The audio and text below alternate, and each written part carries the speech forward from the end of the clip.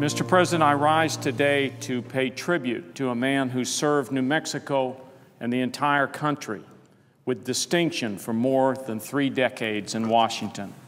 A man who dedicated his life to being a champion for the least among us. That man is Senator Dennis Chavez, the nation's, longest serving Hispanic U.S. Senator. This month we mark the 122nd anniversary of his birth.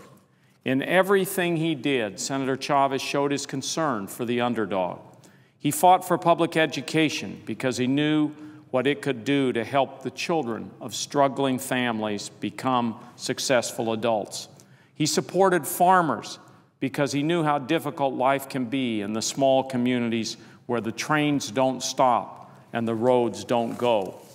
And he fought for civil rights because Senator Chavez believed that equality of opportunity is the core of the American creed.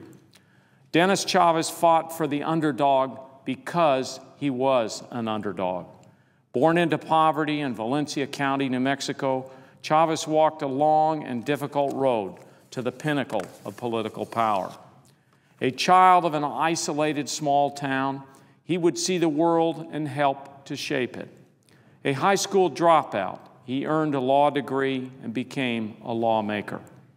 A victim of ethnic discrimination, he wrote legislation that would eventually make employment discrimination illegal and then unthinkable. Dennis Chavez was a man of conviction. He also was a man of courage. At the height of the anti communist sentiment in the 1950s, Senator Chavez was one of the first to denounce the activities of Joseph McCarthy. Here's what he said on the Senate floor during the McCarthy hearings in 1950. I should like to be remembered as a man who raised a voice, and I devoutly hope not a voice in the wilderness at a time in the history of this body when we seem bent upon placing limitations on the freedom of the individual. I would consider all of the legislation which I have supported meaningless if I were to sit idly by, silent, during a period which may go down in history as an era when we permitted the curtailment of our liberties, a period when we quietly shackled the growth of men's minds.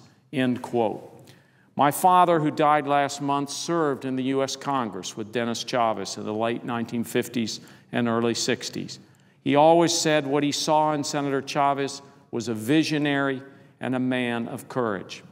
When Senator Chavez left this world in 1962, he was eulogized by Vice President Lyndon Johnson.